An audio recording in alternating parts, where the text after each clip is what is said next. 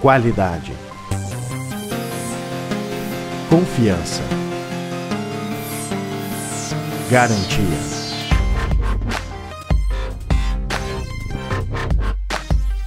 Maninho Car, o seu veículo está aqui.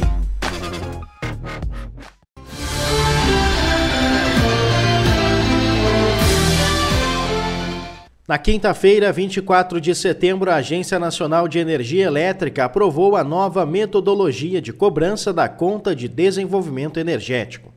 Parte desse encargo, que até então era pago pelas indústrias, será repassado às tarifas residenciais. A ANEEL se viu obrigada a rever as regras de cobrança da CDE devido à decisão judicial que desobrigou as empresas que arcarem com os valores.